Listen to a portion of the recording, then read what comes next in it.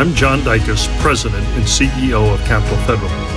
While the world is changing, we adjust, we protect, we persevere. And Capitol Federal remains true blue strong.